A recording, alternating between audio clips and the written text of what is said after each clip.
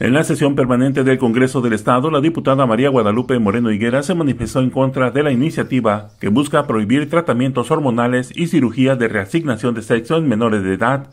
Dicho impulso legislativo es alarmista, discriminatorio y violatorio de los derechos de la niñez de la capital del país. Desde nuestra perspectiva,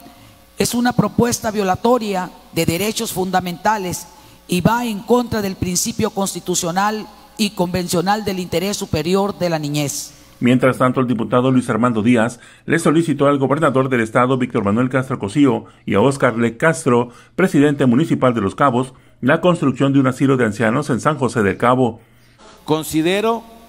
de vital importancia se realicen los estudios necesarios y en base a ellos se construya en San José del Cabo por parte de nuestras autoridades un asilo que tenga como fin combatir tan lamentable situación. No olvidemos que nuestros adultos mayores tienen el derecho de que se les proporcione una vejez digna en la que se les garantice cuidados especializados de acuerdo a cada una de sus necesidades. Por su parte, el diputado Rigoberto Mares Aguilar propuso modificaciones a la ley de tránsito terrestre y municipios del Estado para que los conductores de vehículos afectados por baches obtengan una indemnización de las autoridades. La presente iniciativa tiene como propósito establecer en la Ley de Tránsito Terrestre del Estado y municipios de Baja California Sur que el gobierno estatal y los gobiernos municipales establezcan programas y procedimientos accesibles para que la población que tenga un accidente provocado por un bache